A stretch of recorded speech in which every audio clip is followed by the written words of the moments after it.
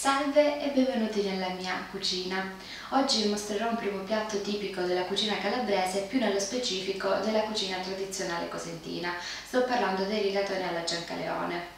Conobbi questo piatto anni fa quando ancora frequentavo l'università perché mi capitava spesso di rimanere a mangiare nei ristorantini a tavole calde vicino all'Ateneo e spesso nel menù leggevo rigatoni alla Giancaleone.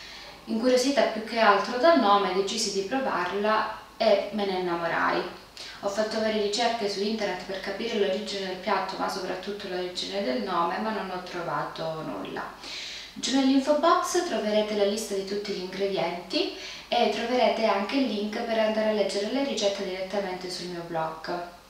Seguitevi su tutti i social se volete, troverete sempre la lista giù nell'info box e vi raccomando iscrivetevi al canale per non perdere nessuna ricetta e lasciate un like se il video vi è piaciuto.